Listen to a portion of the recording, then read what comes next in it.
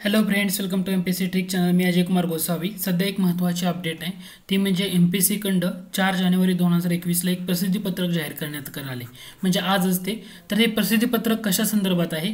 की ज्या विद्यार्थ्यांनी सामाजिक व शैक्षणिकदृष्ट्या मागास प्रवर्गाचा दावा केला होता त्या उमेदवारांच्या संदर्भात करावयाच्या कारवाईबाबत म्हणजे याच्यामध्ये जो रिज महत्त्वाची अपडेट आहे तर ते लक्षात घ्या. ज्या ज्या विद्यार्थ्यांनी एस सी बी सी म्हणजे आपण म्हणतो की सामाजिक व शैक्षणिकदृष्ट्या मागास प्रवर्गाचा दावा केला होता. म्हणजे राज्यसेवा पूर्व परीक्षा असू द्या किंवा ह्या. तर त्यांच्यासाठी सध्याचा एक शासन निर्णय झाला होता तेवीस डिसेंबरला. आता त्या शासन निर्णयानुसार आता काय होणार आहे?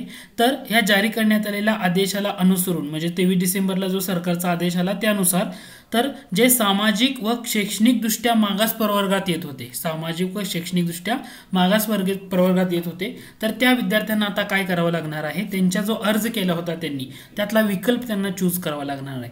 म्हणजे एक तर त्यांना अराखीव खुला किंवा ओपन कॅटेगरीमध्ये कन्सिडर करावं लागेल किंवा आर्थिकदृष्ट्या दुर्बल घटकामध्ये त्यांना आरक्षणाचा लाभ घेणे आता आवश्यक झालंय. म्हणजे आता एम पी सीनं जे आज डिक्लेअर केलं त्याच्यामध्ये त्यांनी असं म्हटलंय की जी सहाय्यक मोटार वाहन निरीक्षक पूर्वपरीक्षा राज्यसेवा पूर्वपरीक्षा कंबाईन पूर्वपरीक्षा आणि अभियांत्रिकी पूर्वपरीक्षा. म्हणजे दोन हजार वीसमधले हे ज्या चार एक्झाम झाल्या होत्या त्याचे फॉर्म भरून भरवण्यात आले होते. तर ते आता त्याच्यामध्ये जे एस सी बी सी म्हणजे आर्थिकदृष्ट्या मागास म्हणजे आपण जे म्हणतो म्हणजे सामाजिक व शैक्षणिकदृष्ट्या मागास प्रवर्गातून अर्ज केलेली म्हणजे मराठा आरक्षणाच्या संदर्भातलं. तर त्यांना आता काय करावं लागणार आहे?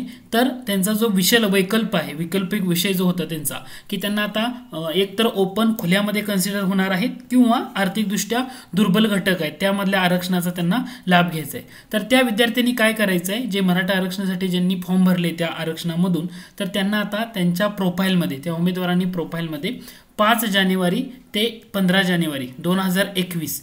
या कालावधीमध्ये त्यांच्या प्रोफाईलमधला ओपन करावा लागेल आणि तो ओपन केलेल्या प्रोफाईलमधला जो विकल्प आहे तो त्यांना द्यावा लागणार आहे. एक तर त्यांना राखीव किंवा ओपन याच्यामधला अराखीव किंवा ओपन कॅटेगरी कन्सिडर करावी लागेल किंवा आर्थिकदृष्ट्या दुर्बल घटक म्हणतो म्हणजे ई डब्ल्यू वीसची जी कॅटेगरी आहे ती सिलेक्ट करावी लागेल. समजा एखाद्या विद्यार्थ्यानं काय केलं असं काहीच केलं नाही. त्यांच्या प्रोफाईलमध्ये राखीव खुल्याला बी कन्सिडर केलं नाही आणि ई डब्ल्यू एस पण चेंजेस केला नाही.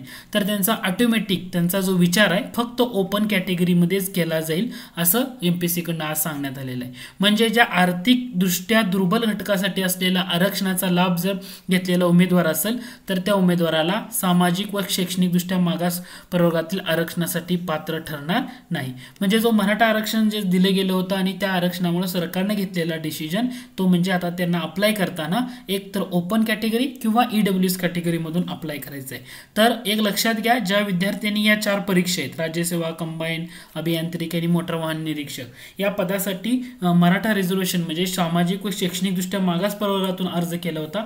अशा विद्यार्थ्यांना आता काय करावं लागणार आहे? एक तर ओपनमधून कन्सिडर होणार आहे ते तो ऑप्शन घ्यावा लागेल किंवा आर्थिकदृष्ट्या दुर्बल घटक ए डब्ल्यू एस जे म्हणतो त्यातला एक विकल्प चूज करावा लागणार आहे. जे विद्यार्थी अशा प्रकारचा विकल्प चूज करणार नाहीत किंवा निवडणार नाहीत त्यांना काय होणार आहे? तर डायरेक्टली ओपन कॅटेगरीमध्ये कन्सिडर करण्यात येईल असं आयोगानं सांगण्यात आलेलं आहे. दुसरं महत्वाची गोष्ट सध्याचा हा जो डिसिजन घेण्यात आलाय तर तो शासनानं जो तेवीस डिसेंबरला काढलेला निर्णय होता त्या निर्णयाच्या अनुषंगाने घेण्यात आलाय. मग ह्याच्या दृष्टीनं आणखी ह्याच्यामध्ये चेंजेस होऊ शकतात. जसं न्यायालयामध्ये जे बऱ्याचशा केसेस किंवा बऱ्याचशा मुद्दे चर्चेत आहेत ते झाल्यानंतर म्हणजे आता एक महत्वाची गोष्ट तुम्हाला यातून लक्षात आली असेल तर विद्यार्थ्यांना काय आहे? एसी बी सी आरक्षणाचा जो दावा केलेला उमेदवार आहेत ना तर त्यांना एक तर ओपन किंवा ई डब्ल्यू एसमधून पुन्हा प्रवर्ग निवडण्याची संधी ही आयोगानं दिलेली आहे. आणि याचा कालावधी मात्र नक्की लक्षात घ्या. पाच जानेवारी ते पंधरा जानेवारीपर्यंत तुम्हाला ते चेंजेस करावे लागणार आहेत तुमच्या प्रोफाईलमधून ठीक आहे? तर एवढे महत्त्वाचे अपडेट आहे. अशाच महत्त्वाच्या अपडेट आणि जी एस लेक्चरसाठी चॅनलला नक्की सबस्क्राईब करा. धन्यवाद.